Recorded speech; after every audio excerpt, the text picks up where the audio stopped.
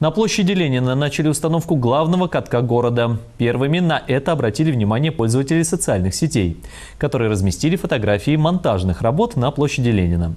Между тем, на последнем заседании оперативного штаба по борьбе с коронавирусом глава региона Александр Гусев сообщил, что смягчать ограничения, введенные для сдерживания распространения инфекции, пока не намерен.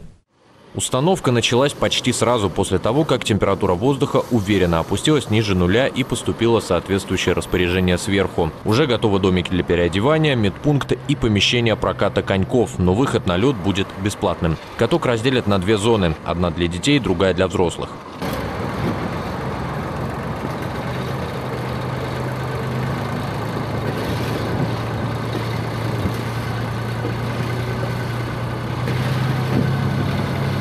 Прошлом году в это время было гораздо теплее, и каток открылся только 27 декабря. А вот коронавируса, наоборот, еще не было даже в Европе. Сегодня только в Воронежской области ежедневно официально заболевает более 300 человек. Правительством региона введены ограничительные меры, чтобы сократить вероятность передачи инфекции от человека человеку. На фоне этого сооружение площадки для массовых гуляний на площади Ленина аккуратно под окнами областной администрации выглядит несколько странно и вызывающе. Нет, это небезопасно.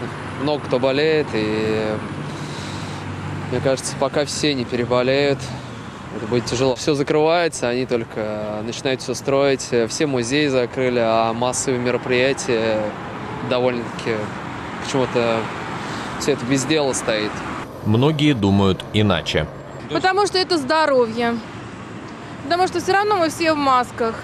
И что будет, того не избежать. Может быть, даже лучше к тому, что мы все переболеем и забудем про эту болезнь. Кто боится, дома сидит. Спорт закаляет дух в первую очередь.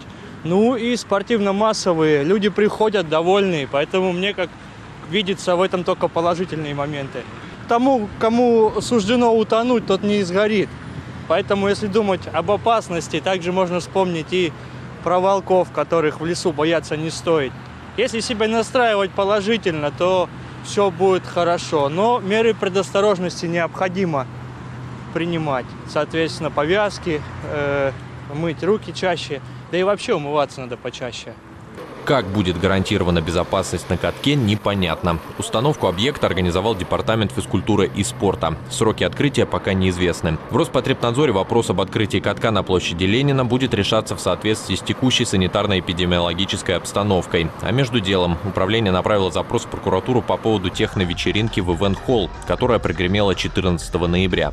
Санитарные врачи, посетившие тусовку, заметили ряд нарушений. К слову, более чем в 20 воронежских заведениях нашли причины для штрафов, сообщили в пресс-службе областного правительства со ссылкой на региональный Роспотребнадзор. Одно из самых популярных – несоблюдение правил проведения массовых мероприятий в пандемию коронавируса. Егор Китаев, Александр Панин, 41 канал.